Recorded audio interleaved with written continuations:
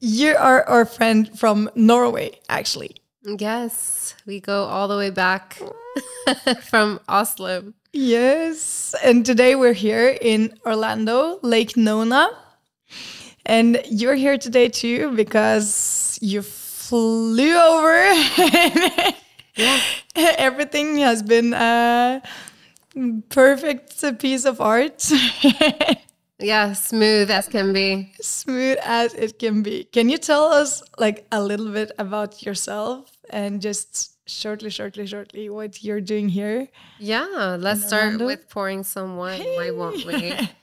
and uh, but my name is Jessica Prieto, and I have a travel blog. That's how I started my whole travel journey. And that happened to be back in 2014. Thank you. That was Norwegian, by the way. and my travel blog actually it created the opportunity for me to travel around the world and make a career out of it. Mm-hmm. And I've been doing it for over 10 years now, almost. I started my blog, however, in 2014 because mm-hmm. I wanted to share more of an experience as a foreigner in a foreign country when I went to go study in the UK. Mm-hmm. And where do you come from? I come from originally Colombia, South mm-hmm. America. My parents are from Colombia. I was born in Dallas, Texas, and I moved to Colombia when I was one. So I don't mm. remember anything about Texas. I don't know country music. Exactly. Everyone always asks me if I love country music. It's like I was one when mm. I moved.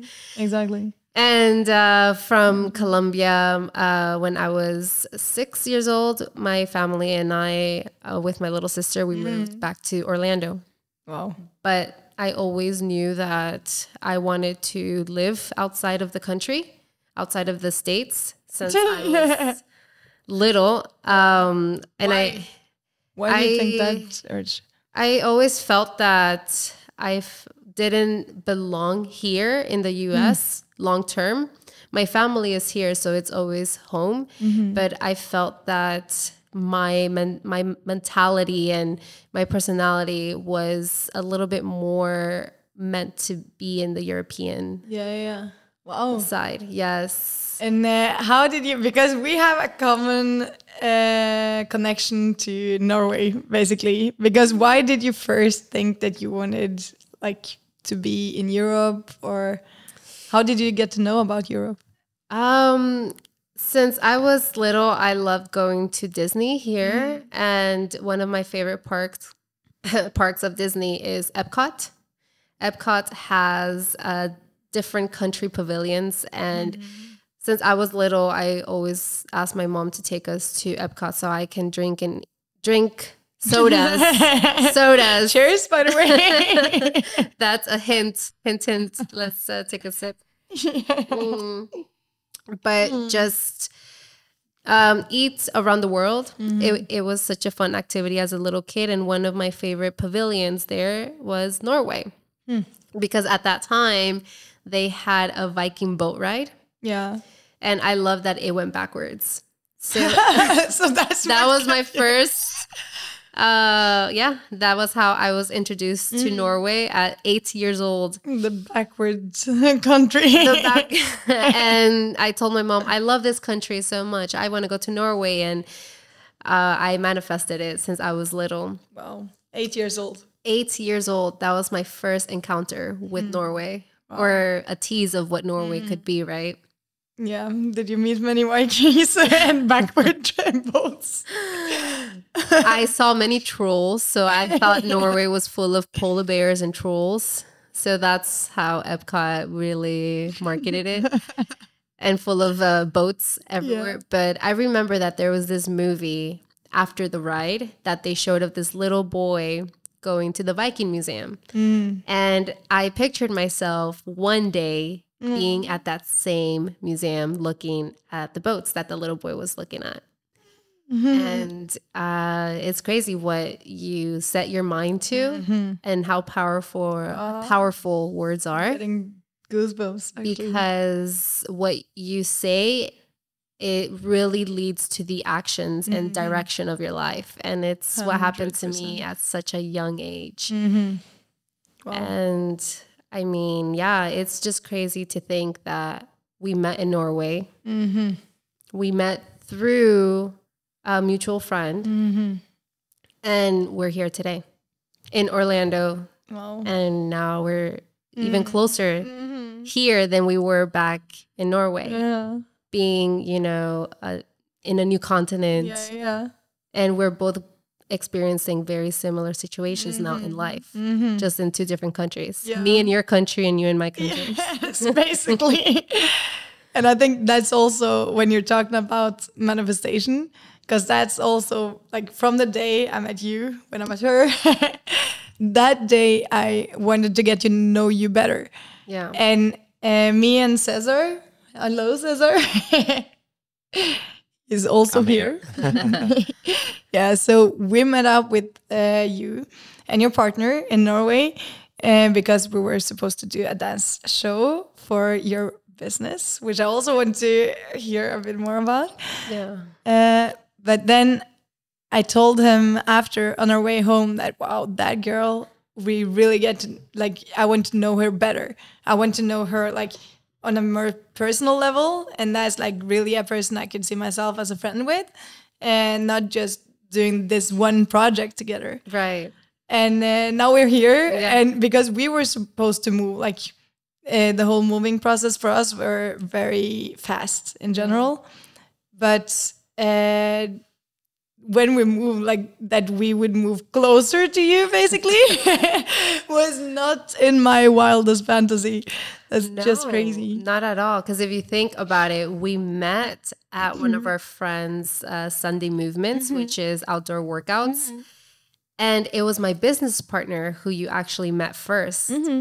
And then he was telling me, Jess, you need to meet this Mm. power couple, the energy that they bring. Hmm. And I did get to see you, and you gave me a big hug, and. I didn't even know you. we didn't even exchange our names. Yeah. And I was like, wow, if it's that girl, I really love her energy. She made me feel so good and so welcomed.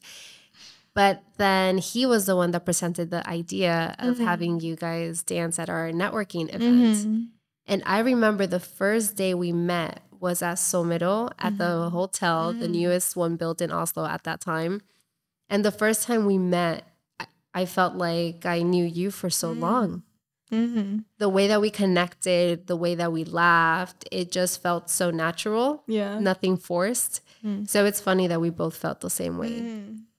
And also that was when your parents was in Norway or your mom. Yeah, you met So my actually- mom whenever she was in Norway because she went with me that time to help me move Mm-hmm. all of my things, including my dog, to Norway. So I told her, hey, we need to uh, do something different and get our minds outside and explore some of the nature. So why not do a workout in Norway's outdoors? And that's how we met. Wow. Uh huh. Oh. So yeah, And funny. Also because uh, now we also got to know your parents better uh, and are have actually been meeting up with them multiple times already. yeah. So that's great. Even And- exploring business opportunities together, Uh-huh. which is great. Oh, but can you tell me a little bit about you and your family like situation? Because you have a sister completely equal to yourself. yeah, it's so funny. We couldn't be more different. My sister and I, she's four years younger. Uh, I'm 30, so she's 26. And she's married with two kids, a dog, a house with white fence. I'm not even exaggerating. She's like the perfect cookie cutter. yeah. Uh, she lives the perfect cookie cutter life. And here I am. I don't have a home mm. right now specifically. I am more like my home is where my my heart is Hundred at percent. the at this moment. Mm. Um because I've been traveling for over 12 years and mm. living out of my suitcase just taking memories and experiences with me So we both have lived a very different life. And I'm not mm. married. I don't have kids. I mm-hmm. have one dog, and I think he is more than enough for me. You, and he's right under the table. You kind of experienced it today with me. baby. He have been with us to a bar. He have been with us to a restaurant. We got free cocktails today. Shout out to Wave. Thank you. nice. Only for the cute dog. No, but also the thing that I really love about you and your story is um, how your mom kind of contributed to creating a monster. Yeah, a travel monster. uh-huh. It's crazy because ever since I was little, I mentioned before I loved uh, experiencing different cultures. So at the mo- at that time, my parents couldn't really travel much. Mm-hmm. So my mom said that the only way that she was able to travel at that time was traveling through me, through my mm-hmm. experiences. Mm-hmm. So when I was 12, she sent me on my first travel journey, mm. solo journey. So crazy. And since then, I've been mm-hmm. traveling nonstop. And she said that what was supposed to be one travel experience turned out to be a lifetime of just nonstop traveling. uh, She's like, if I could only kind of calm her down now, then I would. But now she's a little travel bug herself. Mm-hmm. But I really got that from my mom. My Yeah. mom always encouraged me to travel, experience different cultures. Mm-hmm. Me coming from Colombia, she told me not to date Colombians. She's like, I did not take you out of Colombia for you to go back to Colombia. So I never really understood that when I was younger. I always wanted to do everything she didn't, everything she she told me not to do. So, um, but now that I'm older, now that I've experienced many more uh, cultures and backgrounds and countries, I see what my mother was talking about. She wanted me to be much more open minded and not think mm-hmm. more in a narrow mind. Mm-hmm. Uh, so now I understand mm-hmm. that it's so important to venture out, explore different cultures, not just in relationships, but in friendships, yeah. because you really get to learn yourself from people that are very different from you. You find that you have so many similarities, like us. We we come from two different continents, two different countries. I, I mean, we couldn't be more different, but yet I feel like we have so many things in common. Yeah. Isn't that interesting? And exactly right now. Yeah. completely accurate in any way. But I think mm, with your mom and uh, the fact that she wanted to experience traveling through you, I think that's super beautiful because that's basically what you based your business on. People are basically experiencing travel through you. And it's not only your mom anymore, it's everybody. you never know who is watching you. You mm-hmm. never know who you're impacting by doing what you love to do. Exactly. And by you being true to yourself, by you being authentic, you are impacting other people because you're encouraging them to do the same, to find their inner happiness and to learn to love themselves and through other people's passion. Yeah. So, I mean, I learned this at a young age when I started traveling at age 12. And I learned that the beauty of traveling is that you get to learn self love, especially whenever you travel solo. You have no other choice but to love yourself because you're stuck with yourself. you are. You are stuck in your own thoughts when you're on that flight. If mm-hmm. it's a long flight, you're 10 hours listening to yourself, to your own thoughts. If you get lost, you have to come up with your own solution, be your own problem solver. And if you're by yourself, you learn to make friends and you learn by uh, getting outside of the sh- of, of your shell and you learn by being uncomfortable that it's the norm.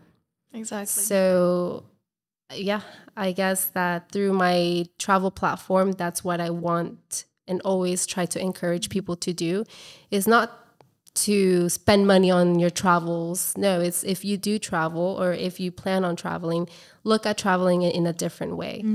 Like, really try to get to know the people in that country, immerse in the culture, because at the end of the day, all of these stereotypes and this racism is due to lack of cultural knowledge. 100%. Yeah. So if we really bring ourselves to get to, even if we don't travel, just the locals that we meet that are from different mm-hmm. countries or even from different backgrounds or ethnicities, is really important to understand their background. Why are they why are they so different? Mm-hmm. Instead of judging is really important to ask questions. So that's mm-hmm. more or less what i want my platform to encourage Yes. is really opening up people's mindset and perspective and getting to know the people and not the ethnicity or not their background. Mm-hmm.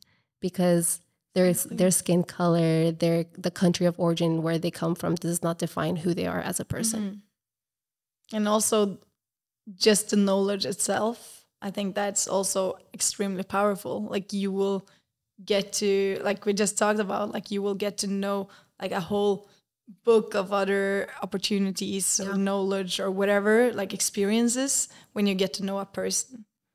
Yeah, exactly. And you get to learn about yourself through that person mm-hmm. a lot. yeah. Your patience, tolerance, and certain things, you get to learn how to say no.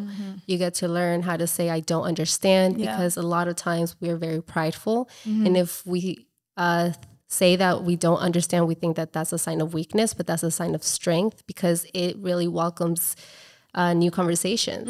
And you get to learn so much about the different person. yeah So I feel that a lot of the weaknesses become your strengths whenever you meet people from different parts of the world. Wow. Do you have anybody in mind when you when you talk about uh, people from other cultures and everything that you learn from? Do you have any specific people or any specific situations that Yeah. would like come up to the front? The first uh, thought that comes to mind is my experience when I went to South India for my first time uh, to this place called Tiruchirappalli, Trichy. It's an hour away from Colombo in uh, Sri Lanka. And everyone before I went there was asking me, why are you going to go if it's not safe? And just throwing all of these stereotypes Yeah. because I mean, let's be real, we all have our we all have some sort of stereotypes, right? Exactly. That we have in mind when it comes to different cultures. So instead of coming to conclusions, I was excited to experience the culture firsthand. And then you also traveled alone, right? And I traveled alone on the way there and I met up with some friends because I was going there for a friend's wedding who she was getting married there. Yeah. Was it in Kerala or Tamil Nadu? Uh the wedding? Uh, like the state?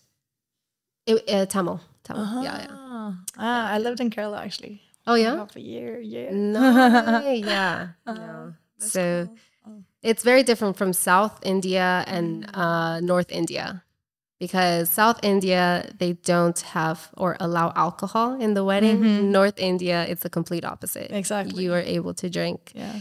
alcoholic beverages, but me experiencing India for the first time, just I I would say solo because the only people that I knew there was, were really the locals and two mm-hmm. other people that went to uni with me. Mm-hmm.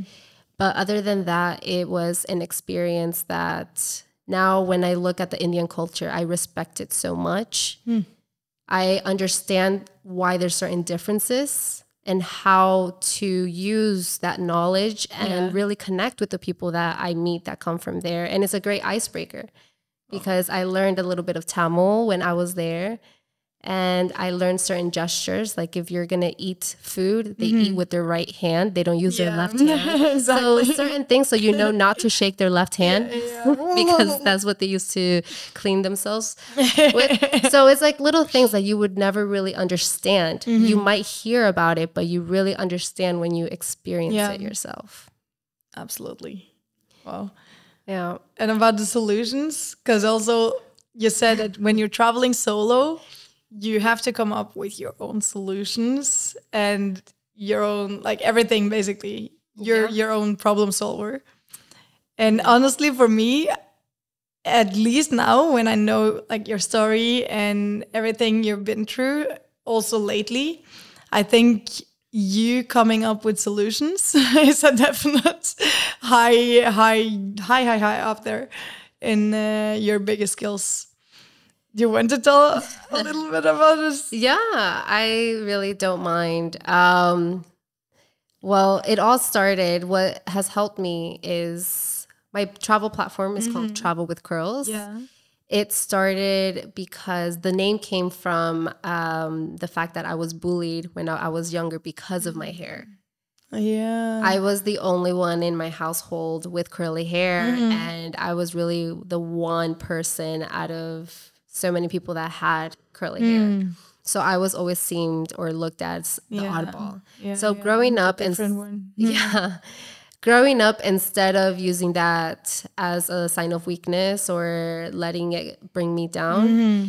I decided that when I ventured into studying abroad, that I was going to start a travel platform where I share all of my experiences and name it something that uh, was dear to my heart. And I thought, why not just monetize what I used to get bullied from? Yes. So from there, I started to anything that I came across, whether it was a challenge, a problem, I turned that pain into purpose. So it started. That's your motto, right? That's my motto. Yeah. So it first started because of my hair, wow. and um, but even before that, I was a very bad student. Mm. You know, I was the person that would always be in detention, that the principal would call my parents because they didn't want me in school anymore. I was the one student that teachers never wanted in their class. I failed biology three times. I was told that I was going to be the most uh, most likely not to succeed from her whole class. Oh. So uh, I I remember my guidance counselor. He sat me down and he's like, "Hey, you're not gonna graduate if you keep on acting like this. I'm so happy I'm, I'm not your dad because you're really disappointing me, and you're not even my child." And that really hurt me. Wow. And he's like, "If this is if you want to fail, continue to act how you're acting. But if you want to succeed, I suggest that you clean up your act and change your lifestyle." Mm-hmm. And it all starts by changing your habits. I would never forget those words because those words was what changed my life forever. Uh, I had only one year and a half to turn what I thought was impossible into something possible and graduate. Mm-hmm. And I was able to graduate with average grades, but I graduated and I was accepted to my undergrad, which, which was the reason why I ended up in Norway. I mean, well, yeah, in Norway, but first in the UK. How did you uh, change though? What did you change? I changed it. I, I changed my habits. I had to work my butt off uh, while, while everyone, because this was during high school. So while everyone was on senior skip day at the beach, I was stuck in school studying. I was studying day and night to catch up with all of the exams that I failed. And from there, I became addicted to success because I saw that, wow, I put so much time and effort into something and I see myself going 10 steps forward. Mm. What I what we what we were supposed to accomplish in 3 4 years of high school, I basically did it in a year and a half. Mm-hmm. So if I can implement this same strategic mindset into the next chapter in my life, how far can I go? Wow. So instead of taking a That's break, powerful. Really. it was through pain Uh-huh. that I found a purpose for myself Exactly. in that. And then from there, it turned into travel with curls when I ended up moving to London. And everyone kept on asking me what my experience was like living abroad. I got tired of it. Uh, I, I got uh, tired of repeating myself. So I told them, hey, here's a link to my blog. Just read it. And that's my experience so far living in London as a foreigner. That was back in, oof, the first blog I did was back in 2013 before Travel with Curls became what it is today. And I did, didn't know the power of marketing or SEO mm-hmm. or keywords. So the search engines, Google picked up a lot of what I was writing because I was being consistent with my content. And a lot of readers started to come on and businesses started to reach out to me asking me who has done my content, who's done my marketing. And that's how I got into the world of marketing. And that's where Travel with Curls was born. Wow. Do you still have the blog? I still have it. My first blog was A Day with Curls. And then I marketed it and set up my travel business to be Travel with Curls. And nice. Through that platform, I have worked with a lot of big companies like Universal, uh, Disney, um, many other companies. I mean, Yeah. I mean, the list goes on, but it's not just about the companies that I worked with, but the experiences that I've had and the opportunity that I have gained to be able to travel around the world Mm-hmm. and make the connections like that I have here. Uh huh. Exactly. So the importance of turning pain into purpose, like it, it's not over when you think it's over, and more or less like the story that I'm about to share, it comes. The reason why I share all of that is because everything that has happened to me in the past has prepared me for what happened to me recently. But that's also exactly why I want to know about your past and about uh, any people's past, basically, because uh, if you, like we also spoke a bit about, like if you see a person that you really look up to uh, and find inspirational, then it's not just like this is not what you see, like this whole picture. The thing that's actually inspirational is probably hidden in the whole like journey. The root of it all, yeah. Exactly. And most likely that's through pain. Like I, I always used to say that, like you grow through pain. Yep. Uh, and uh, that's very true. Like, uh, yeah. Also, like we have also been speaking a lot about that. Like, if you look at your past experiences of what actually made you grow, that's most likely through the painful experiences. It's very few, like only happy experiences that actually takes you to the next level. And uh, yeah, I think that's very important. Like, if you can't tolerate pain, then you're stuck basically. Yeah. Oh. I always, as cliche as this phrase is, but you never know how strong you are until strong is the only option you mm. have. Mm-hmm. And it's so true because Definitely. just when you think that you've hit rock bottom that mm-hmm. first time, it's that one time that it's going to prepare you for the next time because mm. it's inevitable. Even once we complete a milestone, we're going to continue to face challenges. We're going to continue to be uh, hit down to the ground. But through those challenges, we learn how to pick ourselves up and not let ourselves stay down. Mm-hmm. Because I think it's important that we let ourselves go through the emotions and Yes. be in pain, be depressed. Just it's okay to not be okay. And that's mm-hmm. something that I've learned throughout all of the challenges that life mm-hmm. has thrown at me, especially the most recent one. Yes. so you were in Norway yeah. and uh, finally lived your dream life, basically. Yeah. Reached your Viking end destination. My Viking dream. Yeah. My Viking dream, which it all started back in 2014 when I met my first love back in uh, uni in the UK. I went to Norway for the first time, first for a guy. I think 85 or, nine, or 90% of the people that end up in Norway that are, are foreigners or in Oslo is because of love. Probably. Yeah. Everybody I know, actually, to be honest. Same. I know same. that. I know. So that was the first reason. Obviously, that didn't work out because we're not together anymore. But I learned so much from that experience. And I also learned how much I love Norway. Mm-hmm. I actually almost share a birthday with Norway.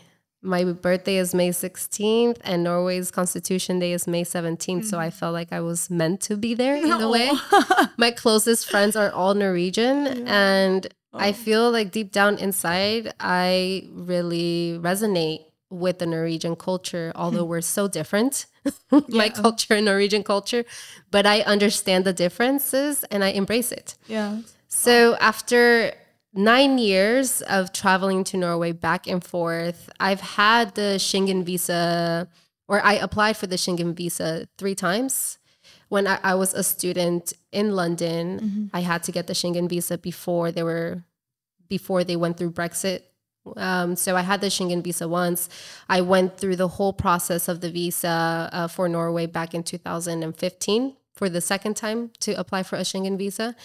So this time in 2022, I decided to make my official move to Norway um, after postponing it because of the pandemic.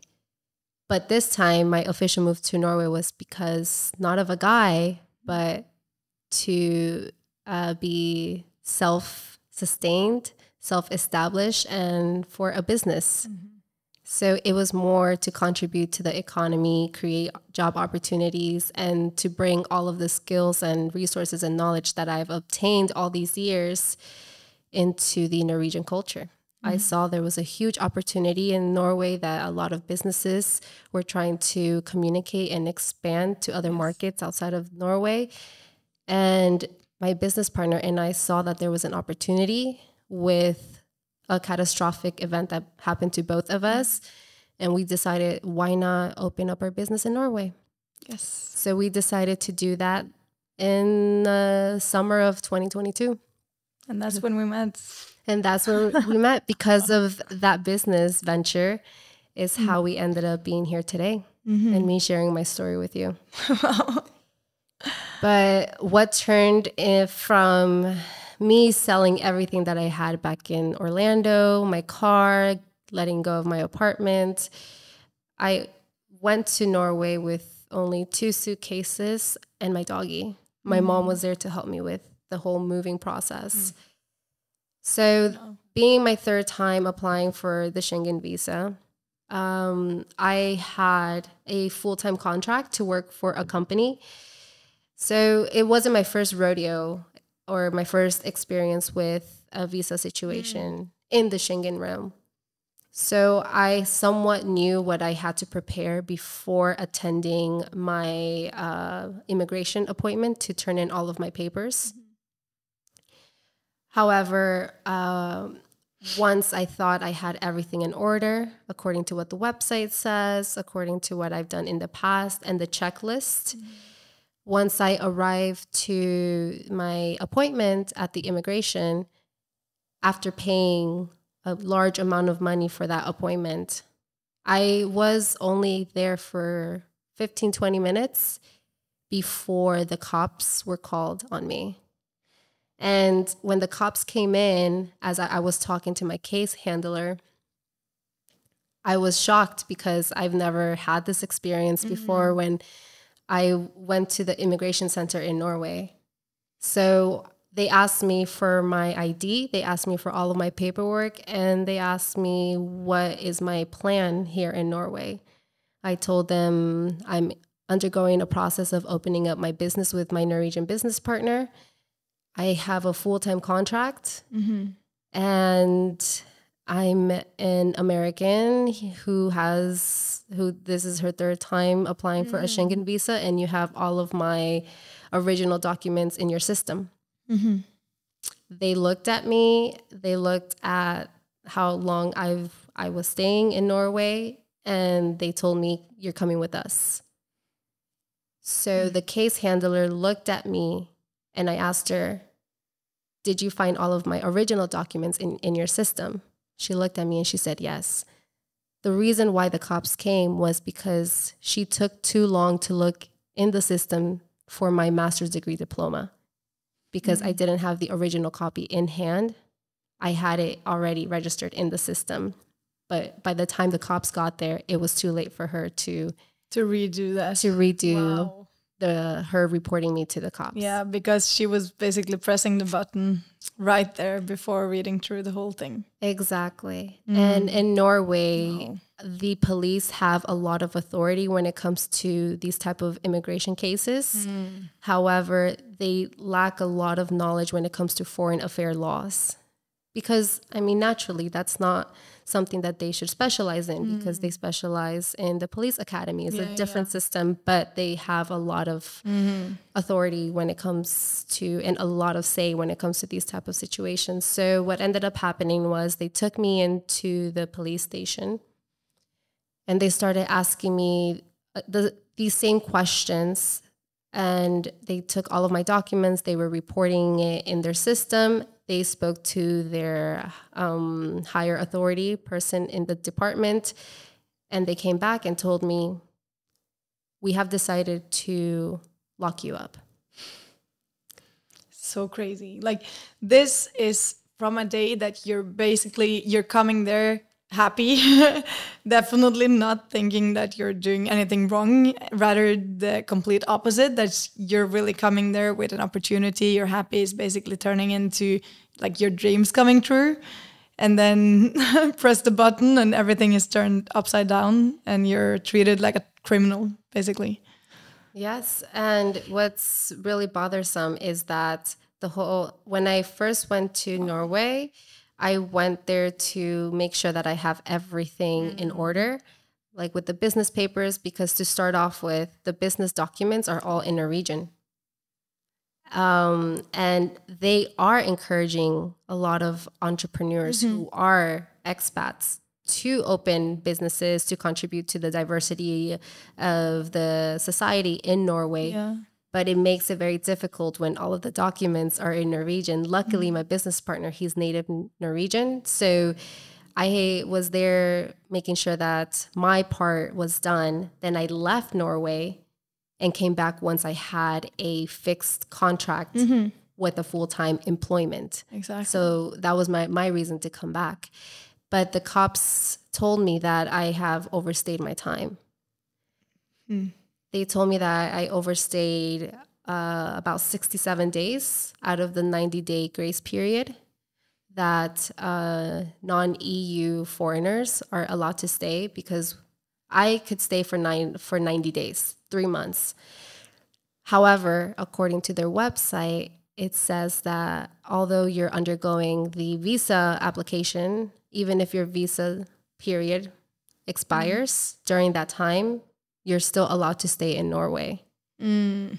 And what's oh. even crazier is that the day before of them arresting me, I was at the police station hmm. because the business registration forum in Norway asked for the police mm-hmm. to sign a copy of my passport to authorize that it is a legit passport and that is so valid. you were basically there the day before so november 9th was when i went for them to make a mm-hmm. copy of my passport validate it make sure that it's legit mm-hmm. they signed off i went submitted that to the business registration the last item that was needed to be submitted for them to activate our business mm-hmm. that was on november 9th on november 10th less than 24 hours later I was taken into custody. Wow. In the same place where they validated my passport the day before. That's insane. And what's even crazier is that on my online application, it states that I was only in the Schengen country for 78 days, not over 90 days. Wow. So this whole thing is actually seriously, uh, it's crazy that it's possible, really. Like this yeah. whole thing. They were just they were jumping into conclusions. They were mm-hmm. assuming without properly looking into all of the details. Mm-hmm. Because they could have just gone online to the immigration portal on UDI and checked my exactly. application, like it should be in a case like this.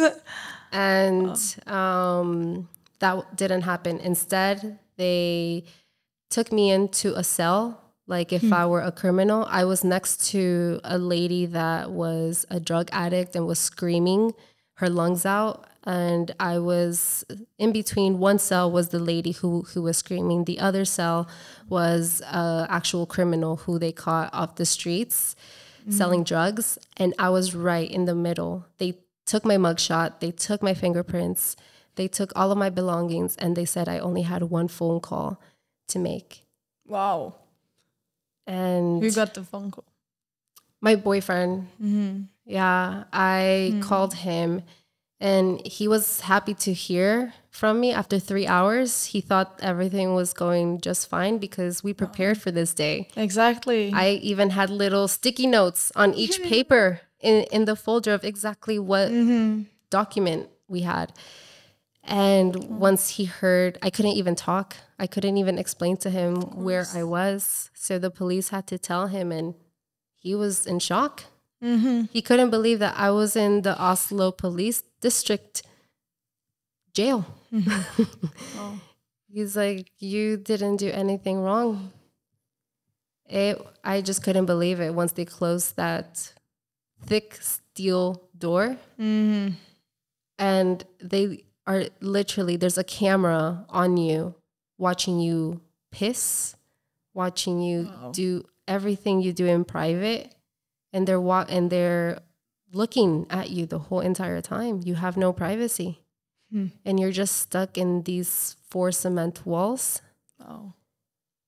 but I literally I've heard so many people talk about their experiences in jail and prison cells before and how people go crazy there. I understand Mm-hmm. why people end up going crazy there. Oh, but that like the way I've pictured like jail in Norway is like very like an apartment basically. But that's uh, that's probably more like if you're staying there for a long time. Jail, no, but when they took me to the immigration detention center where all the refugees are, that was more or less like a dorm Mm. like a dorm um, type of layout. You have your small bed, you have a TV, Yeah, yeah. uh, you have your own bathroom, and um, but Wow. you are just there and um, sharing a common area with the same gender. But it was just a terrible experience, and every time that It's crazy. Anyone would look at me in the cell, they were asking me, "Why are you here?" Mm-hmm. if you have your business up and running, you have a full time contract, like Mm-hmm. you went to the immigrant, like you went to turn yourself in. It's not like you were hiding. Why are you here? They were even confused. Mm-hmm. I was in the cell for about eight hours before they transferred me to the immigration detention center. Wow. And then from there, what happened?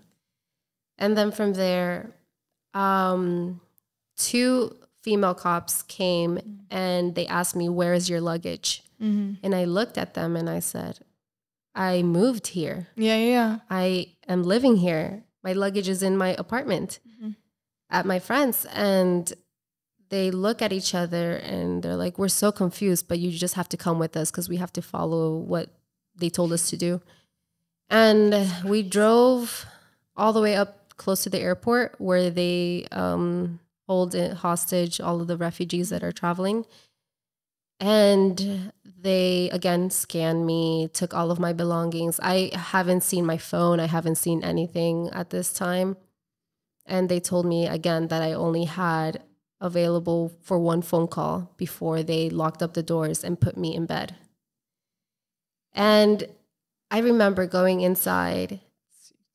They were all so confused. They were like, if you don't have your luggage, where did they take you from? Mm. Because the people that come here are the ones that are taken from the airport. Hmm. It's so many like sirens in this whole story. Like Yeah. nothing of this thing should have been happening from any single step right there. It's just like it's just one misunderstood bottom, basically. And from that little action, it's no way back. No way back. Crazy. And I just remember I asked the people that work there, Mm. um, how long am I going to stay here? And they told me until they can figure out what they're going to do with you. You can either go back to the States tomorrow or you have to stay here until things work out with the lawyer. Mm. And that was already just more than 24 hours that I was there. And they were able to give me a phone with some minutes. So I was able to call my parents, my boyfriend, my business partner. And from there, one of the guys, I became really close with two people that were there with um, that were working there because they were very curious on how I ended up there. Mm.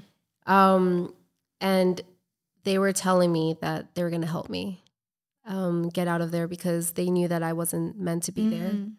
That's people from the police or yeah, people, yeah. the people that were working there. Mm, That's nice at least. I was sitting down and just trying to figure out. They gave me my verdict when I was there. It was all in Norwegian, so they gave me a translator, and that's when they gave me my pre-verdict of expelling me for two years from the whole Schengen, and um, having them deport me from Oslo back to the states, and I had to be escorted by the police. Wow. I just couldn't believe that all of this was happening. So it's just straight from your basically dream coming true to the red button to escorted to the States. yeah to a Back whole to nightmare that i feel that it was still a nightmare that i mm. haven't woken up from mm. just seeing the refugees that were there peeling the fruits telling me that they were separated from their families for like 5 mm. weeks now they haven't seen their husbands because they separate the men the women and the children Oh. so they were just there telling me their stories i was like what the hell am i doing here Mhm. what is this? Finally, I was able to leave after 24 hours.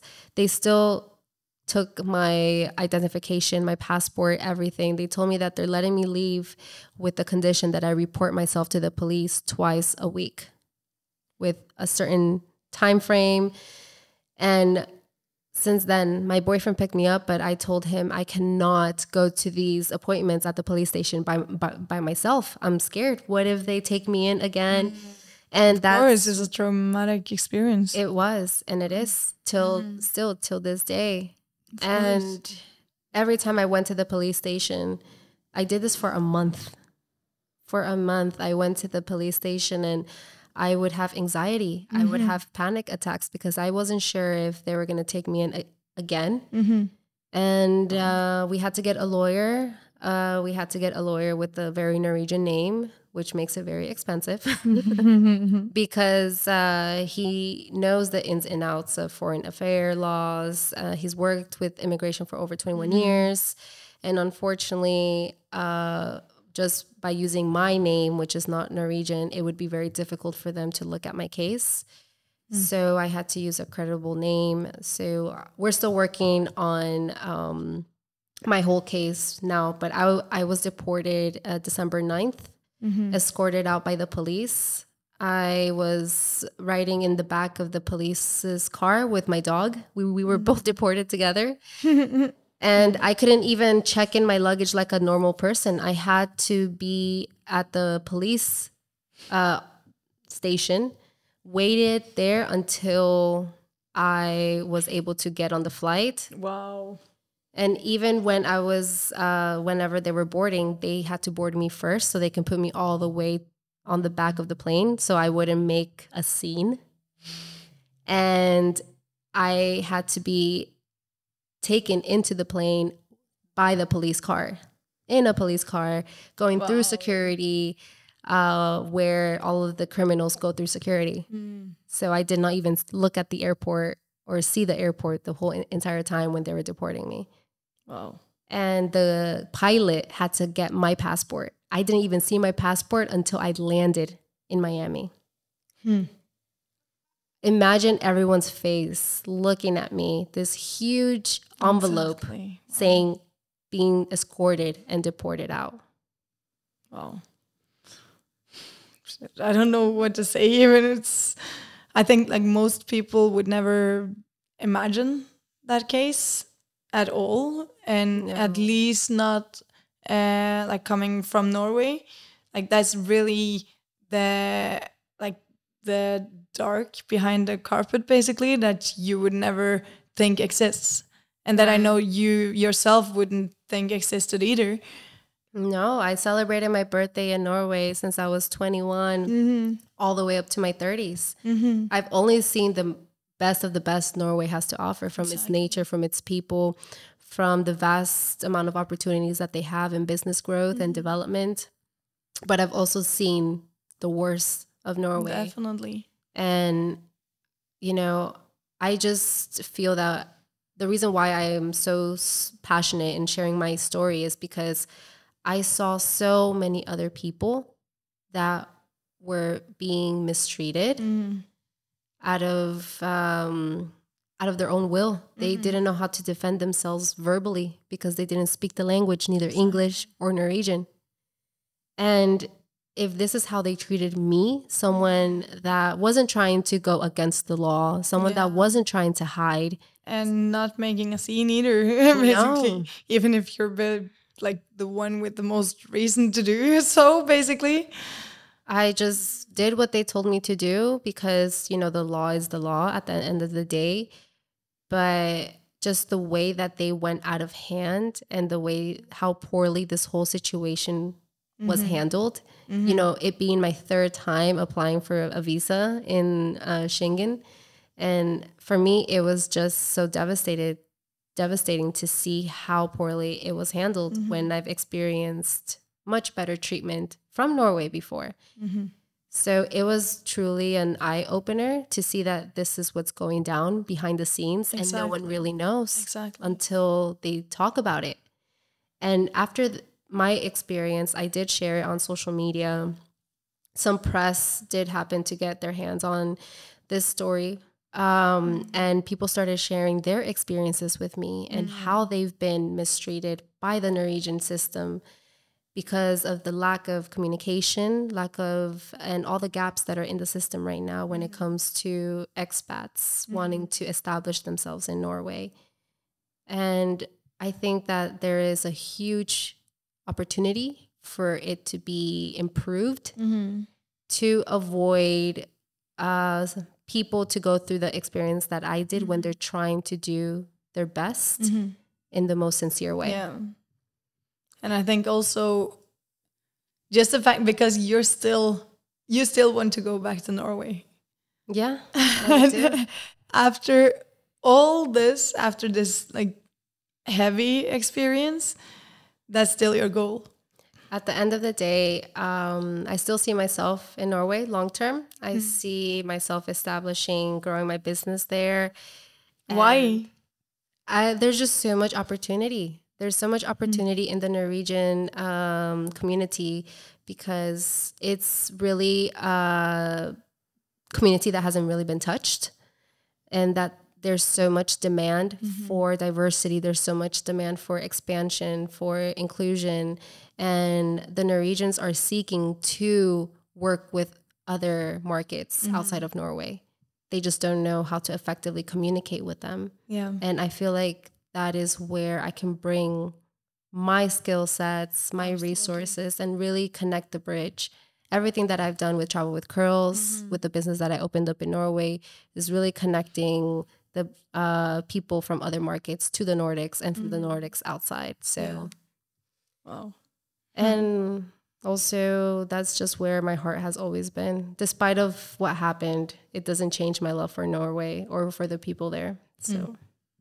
That's beautiful and it's strong. And I think also just the way that you carry this whole situation, because you uh, you're also honest about that. Like you're still having traumas from this. You're Yes. still uh, anxious, kind of about it and everything. Oh, yeah. And you should be because it's, Every time I see a cop car come come close to me, I get into panic mode mm. and I start my heart starts beating fast. I mm-hmm. start getting sweaty because I think back on what happened to me. Mm-hmm. And no, they physically didn't hurt me, mm-hmm. but mentally I was torn and I'm still torn. So I'm still recovering from it. But through all of this, I have started writing a book. I didn't tell you this. Mm, it's called uh, Break Down Before You Build Up. yeah. So it's more or less uh, sharing the stories, not just of this catastrophic Mm-hmm. experience with my visa immigration, but also with all of the past stories and Mm-hmm. uh, sharing how I've turned something challenging into an opportunity Yeah. for growth and impact. And it's a workbook, so it's a self reflect book that nice. uh, really helps you overcome any challenges that you're facing and using what I have taken into consideration to uh, enhance my lifestyle and implement it into your own way of uh, becoming a better problem solver, better communicator, and uh, overall just a better human being for yourself and for your business. Because the best foundation that you can have as a for a successful business is having a good foundation for yourself mentally Preach. because what I really, um, what really ticks me off nowadays is that people think that, oh, I can uh, start a business in 90 days and it be successful. And I'm not saying that that's not possible. That is possible. There's overnight success, but that doesn't determine longevity yeah. because what happens whenever they face a challenge? How are they going to know how to build themselves up before they let themselves break down? And it's really, it talks more about making sure that you have a solid foundation mentally before you start trying to build a business. Yeah. Wow. And that's exactly what I love also about you through the this whole thing. Like from you were a child basically, uh, through all these hard times, you've always been uh, seeking opportunities. And even now, you're not here. You're not living here, basically. You're already on Thursday traveling. leaving to London. Yeah, so now um, I found a great opportunity for a full time contract. They're hiring Travel with Curls for uh, me to help them with their business development and marketing in London. So it's not that far from Norway. It's not part of Schengen anymore. Mm-hmm. So I'm able to mm-hmm. uh, start the whole visa process there. So, yes, I am starting the whole visa process in a new country Again. but I think I feel like I've become the visa expert by now on what not to do, what questions to ask, mm-hmm. what to avoid. So um, I'm not letting it stop me from continuing on uh, growing internationally. exactly. My heart will always be in the States because that's where I grew up, that's where my family is. But my uh, future, my mindset is more in the European uh, side. So, yeah, I'm just going up from here, regardless of what challenges life brings. Exactly. And you're all thriving, definitely, and you're still like you're you're stuck in this uh, like hard situation, but you're not stuck at all, and that's what's really inspiring. And I want to buy your book. I'm looking very forward for that, and I love that you made it a workbook. Thank you. Yes, because I am a terrible reader, but when it comes, yeah, I feel you. to be honest.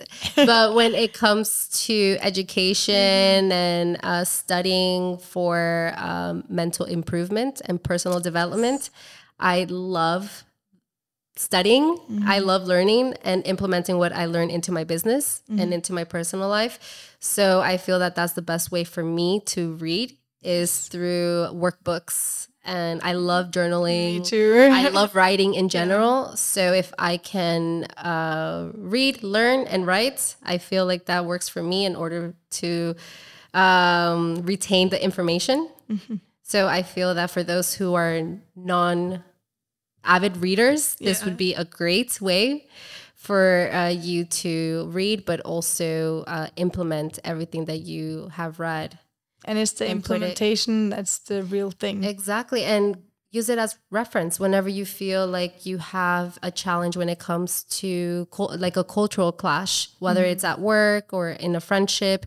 Go back and read what you wrote on how you are going to uh, overcome certain challenges and take that into consideration. Because at the end of the day, the best teacher's experiences and the best teacher comes from your trial and errors. And it really comes from self reflection. You mm-hmm. just use other people's inspirations to help yourself become a better you and a better thinker. So, mm-hmm. And uh, not to end up in jail. yes, and don't end up don't end up in jail. And you're probably sure. the best person to ask Cheers. for that also. what to do when you're in the cell for eight hours. no, yeah, also that, but, but Oh, you're yeah. probably the best person to ask about the visa because you're you're Oh. the visa master now. Yeah. so not to end up in jail in first place. But if you do, you can also ask. I have a question for you. yes, Cesar. one last question to finish. so, um, what do you want to say to the woman, entrepreneur woman uh, from our country? We have uh, Colombia, we have uh, Venezuela, we have Norway, UK, for example, USA, America. So, do you want to say something important to the woman? Actually, most women actually women, yeah. they have more hair and us men, you know. Yeah. Um, I would say from personal experience, uh, women, including myself, we're very driven by emotion. I know that whenever I have love, I'm the best business version of myself. And it took me some time to find true love. And once I found true love, I was able to, to succeed and felt like I can take over the world and whatever I want to accomplish. And that true love was self love. Mm. Really knowing how to love myself, Beautiful. how to love give going out, giving myself a treat, having dinner, going to the movies by myself, but also knowing what I want and what I don't want. Mm. Because having self-love is the base foundation of your emotional state of mind. And when you are emotionally stable, you can have a thriving business. So I would say first, before you seek success, seek love. And that's with loving yourself first, because then you'll learn how to love others. Wow. That's powerful. Thank you. wow, wow. Cheers. Thank you guys yes. for having me. yes. So this is Jessica. We're Thank super, you. super, super happy to have you here. And Good I miss you guys. Yes, you too. Um, Yeah, but whatever happens, we will always meet up in either Orlando, the States, London, UK, London. I'm always going to London. Yeah. Or Norway when uh, you're back there. And I know that you, we will see your tribe and we will support you wherever you are. And I know that's going to be everywhere. Same with us, probably. Yeah. And what I also realized actually when we were talking now is that uh, we can maybe even get this out because I was just supposed to say that to you. But I think you're seriously my uh, soulmate though, mm. especially when you're talking about uh, that you like feel that you're supposed to be Norwegian kind of. Yeah. And I've always had the same thing for like uh, Latina. I said that when I was seriously like five years old. I was like, no, wow. Latina.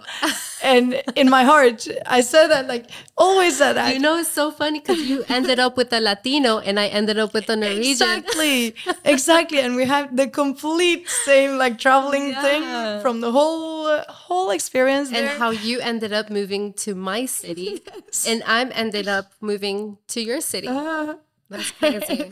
crazy. But we still end up meeting each other. yeah, yeah yeah and then basically living uh, parallel lives yeah. with our own businesses like yeah towards each other. Yeah. So that's uh, i was just thinking of that listening to you like that's crazy. That's so true and kind of creepy. So uh, so there's definitely soulmates out there and i think i found mine. She's sitting right in front of me so uh, yeah, that's today's reveal. wow. No, but thank you so so much. Thank and you guys for having me. And for the amazing arepas that Cesar made. Yeah. Yeah, just for you. And for you. it's how I had the energy to talk so much today on the podcast. Yes, finally. And that's also something that we he promised you back in Norway yes. in the first time we met. Yes. The first time we met, he said, "Oh, you like arepas? I make some really good Venezuelan arepas." and we always have like, you know, between the Venezuelans and Colombians mm -hmm. like mm-hmm. that conflict of interest. Like, no, I make the better arepas and mm -hmm. I will say, me being Colombian, that the Venezuelan arepas are much better. Ooh. So, Write that down, people. I've been waiting for uh, the arepas that Cesar promised me in Oslo.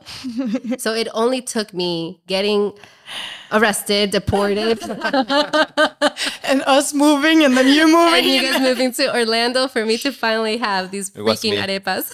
yeah, yeah, it was his fault just to make Thank you guys. This was fun. Thanks for the wine. of course. Okay, thank you everybody, and thank you Jessica for being here. And uh, that's it. Thank you, people. So see you soon. Yes. Ciao. Bravo, ciao.